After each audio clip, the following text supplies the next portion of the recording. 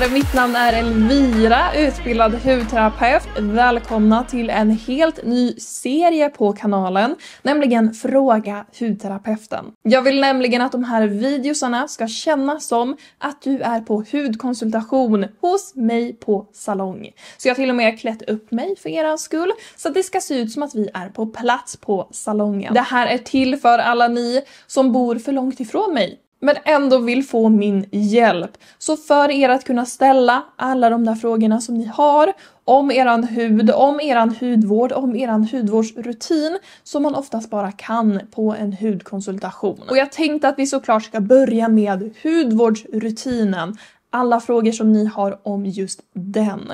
Är det så att du är riktig nybörjare där hemma, du vet inte vilken ordning man ska lägga vissa produkter, kika på min video som jag har gjort redan på hur man bygger en hudvårdsrutin. Men sen vill jag också faktiskt påminna om begreppet basrutin. En basrutin är faktiskt det minsta möjliga som din hud kan överleva på. Och den består nämligen av tre stycken enkla steg. Rengöring, kräm och solskydd. Med dessa steg så håller vi huden i balans. Vi bibehåller dens skick och vi skyddar även mot att den skulle kunna bli sämre. Och den här basrutinen är det som du alltid ska kunna falla tillbaka på om det är någonting som går fel. Om din hud blir irriterad, känslig, får en dålig reaktion ska du alltid kunna gå tillbaka till det här. Gå tillbaka till basecamp. Det här kan vara ganska svårt att ta tid att bygga fram men förmodligen så har du faktiskt redan nått i alla fall av de här stegen redan hemma. För det ska nämligen vara ett, En rengöring som rengör väl men som inte lämnar dig torr och stram. En ansiktskräm som håller dig återfuktad men som inte täpper till. Och ett solskydd som du och din hud verkligen gillar att använda. Det är liksom vad en basrutin är och steg ett som du ska börja på om du är riktig nybörjare. Att bygga en sådan. Sen efter att du har fått ordning på din basrutin så kan vi vidareutveckla. Vi kan lägga in lite starkare, aktivare produkter. Vilket faktiskt för oss in på den första frågan som jag fått ifrån Kristin. Nämligen, känner att min AHA och retinol gör underverk för huden. Men jag blir torr. Behöver jättemycket mer fukt i min rutin för att återhämta mig. Kan du ge några tips? Det här är faktiskt väldigt, väldigt vanligt när vi introducerar någonting starkare, aktivare som retinol eller som en exfolierande syra. Att vi oftast kommer behöva kompensera med att lägga till lite mer lugnande, stärkande och fuktgivande produkter i övrigt. Lägg kanske till ett ansiktsvatten med extra lugnande och stärkande innehåll. Som till exempel Cosorex Zika-toner som har centella i sig eller Cosorex Propolis toner med honungsextrakt. Bägge de två är fina för att lugna, dämpa inflammation och snabba på läkning i huden. Sen brukar jag älska att addera någon form av barriärkräm. Leta jättegärna efter ceramider och kolesterol som stärker hudbarriären. Finns i till exempel Purito har en hel barriärserie. De har en lite lättare ansiktskräm, de har ett balm och sen även en sovmask eller nattmask. Alla som har fokus på att läka, lugna och stärka huden. Personligen brukar jag välja nattmasken eftersom jag tycker att den är enklast att använda vissa kvällar här och där. Fråga från Vilma. Hur ska man lägga upp sin hudvårdsrutin när man tränar morgon och kväll? Jag skulle säga så här, beroende på hur tidigt du tränar på morgonen, när du vaknar, skvätt bara ansiktet med vatten och lägg på solskydd. That's it. Om du inte ska utomhus, du kanske ska träna hemma, vad vet jag, lägg då ansiktskräm istället. Efter att du sen har tränat, då kör du din morgonrutin. Få jättegärna in en ordentlig rengöring. Är det så att du har valt att ha solskydd, kör då jättegärna en dubbelrengöring. Eftersom du också förmodligen har fått svett och bakterier i ansiktet efter träningen. Och därefter så lägger du din morgonrutin då. Tränar du istället på kvällen skulle jag säga oroa dig inte så mycket innan. Utan se bara till att du ganska fort därefter att du har tränat klart, att du gör din kvällsrutin. Eftersom vi som sagt kan ha svett och bakterier efter att vi har tränat som du gärna vill rengöra bort. Så kör en dubbelrengöring, du kanske kör någon exfoliering, fukt och sen din kräm. Men det gör du då efter att du har tränat. Går det verkligen att veta vilken produkt i rutinen som ger ett visst resultat undrar Jessica. Och ja, det här är en jätte, jättebra fråga som jag faktiskt har pratat om någon gång innan. Det finns nämligen tre stycken olika sätt som du kan märka exakt vad du får för resultat ifrån just din hudvårdsprodukt. Det första är 1. Endast introducera en ny produkt åt gången. Jag har tjatat om det här många gånger, men är det nämligen bara så att den här produkten är det enda som du har lagt in i din rutin, det enda som du har ändrat på, kommer det vara ganska tydligt för dig att märka skillnaden. 2. Uteslutningsmetoden. Uteslut produkten. Vad händer? Försvinner effekten eller inte? Här är ett jättebra sätt att testa vare sig du har fått en positiv effekt eller en negativ effekt på huden i form av kanske irritation, känslighet eller kanske till och med utbrott. Försvinner de sakerna om du utesluter produkten. När du sen har uteslutit produkten i en, två veckor, testa introducera den på nytt igen. Vad händer då?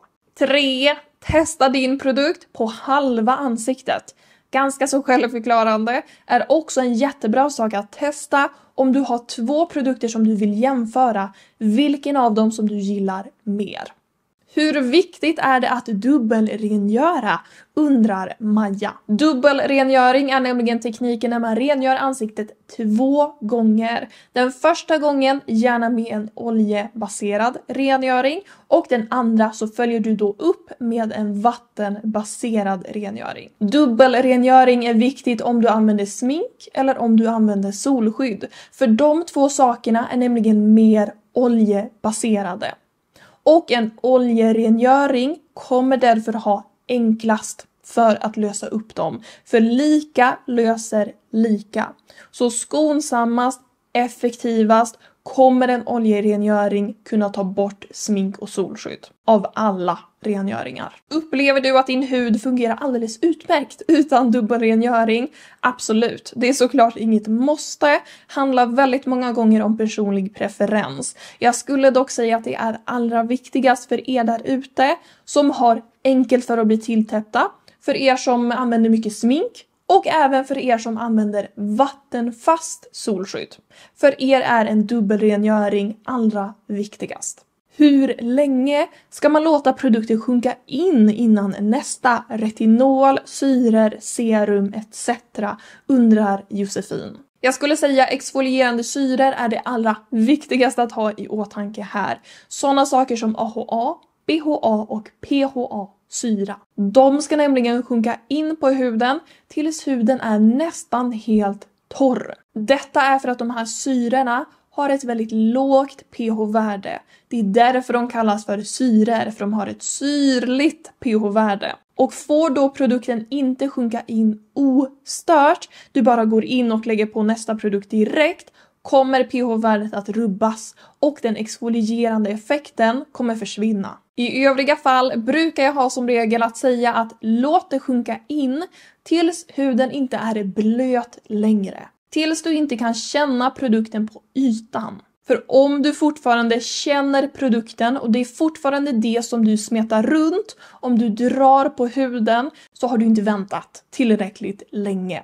För då har den inte hunnit sjunka in. Då ligger den kvar på ytan. Det ska inte vara torrt, men det ska heller inte vara blött. Utan vi letar efter det där mellantinget av fuktigt. Tänk lite grann som en disktrasa. Den ska inte vara helt dränkt med vatten, men den ska heller inte vara torr. Den ska vara urkramad och lite fuktig. Retinol eller retinoider är sen en sån sak som jag personligen brukar låta sjunka in lite extra länge. Bara så att jag verkligen vet att den har fått gå in i huden ordentligt och gå in i huden ostört. Detta brukar innebära allt emellan 30 till 90 sekunder ungefär. När det sen kommer till att applicera solskydd, då väntar du 5 till 10 minuter efter att du har lagt din ansiktskräm. Ska du sen också sminka dig så väntar du ytterligare 5-10 minuter efter att du har lagt solskyddet. Så kräm 5-10 minuter, solskydd 5-10 minuter, smink. Jag brukar göra så att jag går och borstar tänderna, jag klär på mig och fixar sådana saker emellan där för att låta tiden gå ordentligt. Många verkar smått besatta av att hela rutinen ska bestå av ett märke. Är det här viktigt eller bra? undrar Nicky. Absolut inget måste. Det här är enligt mig ett marknadsföringsknep för att ett hudvårdsmärke ska kunna mjölka ut så mycket pengar ifrån just dig som möjligt. Absolut att olika produkter ifrån olika märken kanske inte kan användas tillsammans, att de kanske krockar med varandra.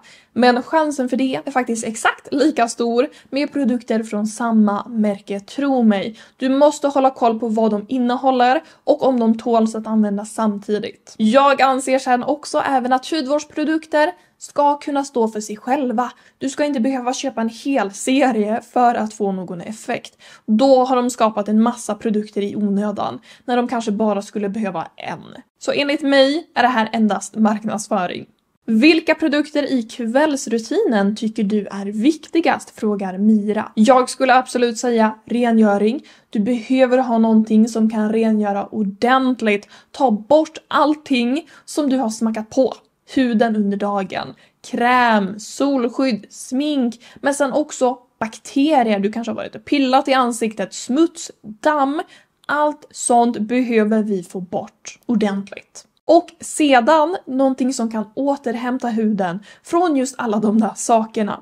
Vanligtvis en lite mer reparerande produkt. Jag personligen brukar älska någon form av barriärkräm eller också som sagt sovmasken ifrån Purito. Någonting som man bara kan smacka på och reparerar, återhämtar, nollställer huden egentligen.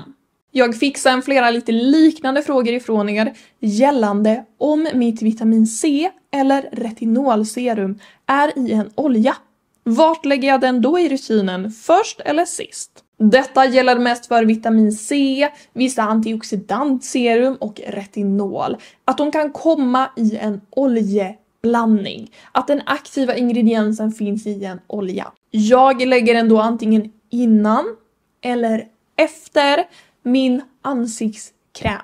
Och det är just för att då har du applicerat alla dina vattenbaserade produkter. Alla dina fuktprodukter. Ditt ansiktsvatten, ditt fuktserum är du klar med. Och nu jobbar du istället över dig till den mer oljebaserade formulan, nämligen din kräm. Lägger du det här oljeserumet innan din ansiktskräm kommer serumet kunna ta sig in enklare och lättare. Men är det så att din ansiktskräm innehåller någonting aktivt som kanske niacinamid så kommer den ha lite svårare för att kunna penetrera och sjunka in. Applicerar du sen istället oljeserumet efter din ansiktskräm kommer serumet inte ha lika stor effekt. Så serumet kommer då ha svårare för att penetrera. Så man får välja lite grann på vilken man kan riskera att tappa lite effekt ifrån. Personligen brukar jag alltid rekommendera att ha den innan ansiktskräm, för det funkar som allra bäst de flesta gångerna.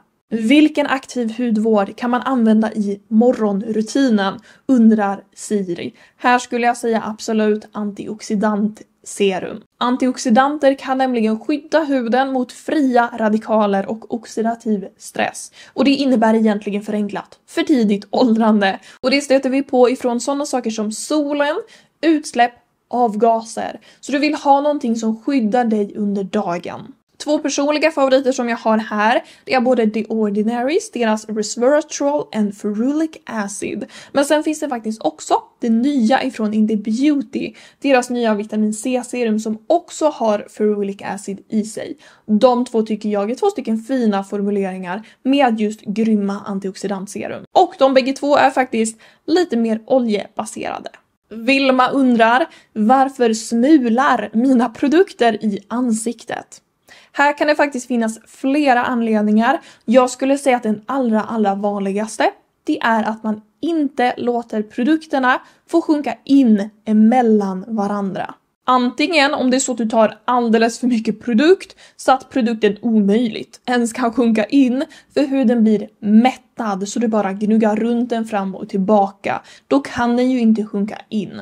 Utan då bara smeter du och gnuggar du den fram och tillbaka tills den pillar, tills den börjar rulla eller smula sig. Kom också ihåg att produkter sjunker in som allra bäst när de klappas in i huden. Är det så att du bara gnuggar alla dina produkter fram och tillbaka kommer de att pilla sig, tro mig. Så testa alltså att ta mindre mängd. Testa att klappa in den i huden och testa att vänta tills den har sjunkit in ordentligt. Som vi precis har pratat om, typ 30 till 90 sekunder när du inte känner den på ytan längre. En annan teori är också att det kanske är så att två produkter i din rutin helt enkelt inte funkar ihop med varandra. Det kan vara så att den ena kanske är mer silikonbaserad och den andra är lite mer oljebaserad, att de inte går ihop med varandra. Testa då om det är så att den här produkten som rullar sig för dig, rullar den sig när den är ensam? Eller rullar den sig endast när den är i kombination med andra produkter? Men oavsett skulle jag säga stressa ner, låt det ta lite tid, klappa in produkter och ta jättegärna lite mindre mängd. Hur ofta kan man använda eller hur kan man kombinera dessa var ni väldigt många som undrade. Vare sig det var att kombinera niacinamid med vitamin C eller kombinera syror med retinol så har jag faktiskt först och främst en hel separat video om detta. Så kika jättegärna på den. Men för lite enklare generalisering så kommer jag faktiskt alltid att säga testa dig fram. Om jag till exempel säger att jag Niacinamid kan du använda morgon och kväll. Du testar men du upplever att din hud blir röd, flammig, irriterad och känslig. Gör inte det då! Lyssna på din hud. Det är otroligt individuellt och någonting som en person som kanske kan använda retinol och syror samma kväll utan något som helst problem, vilket inte är någonting som man ska rekommendera, kan någon annan kanske ha problem med att ens kunna använda en syra en gång i veckan. Förstår ni? Det är så otroligt stor skillnad från person till person. Så det absolut enklaste sättet om du kan veta hur ofta du kan använda en produkt eller om du kan kombinera två produkter, det är att testa dig fram. Märker du irritation och känslighet, ja, då kanske du inte kan använda den så mycket eller kombinera de där två. Märker du inte det, kör hårt. Du kommer förmodligen komma vid någon form av gräns att där, där tog det stopp för mig och då vet du om det. Då vet du hur mycket din hud tål, men det vet du inte förrän du har testat. Det enda som ni ska veta, det är att kopparpeptider och benzoylperoxid faktiskt kan minska effekten eller slå ut effekten helt om de blandas med retinoider, med vitamin C eller med syror. Det är nämligen för att de kan agera oxiderande på huden. Och retinol och vitamin C som är antioxidanter kan då tappa all sin effekt. Benzoylperoxid och kopparpeptider använder vi helst för sig själva. Annars finns det faktiskt inga fasta regler. Med det sagt var det faktiskt alla frågor jag hade tänkt gå igenom om just hudvårdsrutinen. Kommentera jättegärna vad ni tyckte om det här konceptet. Nästa fråga hudterapeuten kommer handla om retinoider. Så om du har några frågor om retinol så kan du antingen skriva dem här nedanför. Du kan också skicka in dem till fraga hudterapeuten gmail.com. Du kan såklart också ställa vilken som helst fråga här nedanför eller på den e-posten. I sådana fall kommer jag att spara de frågorna till framtida videos. Men jag vill såklart tacka dig för att du har tittat. Tills vi ses och till nästa gång. Kom ihåg, ta hand om dig och ta hand om din hud. Hejdå!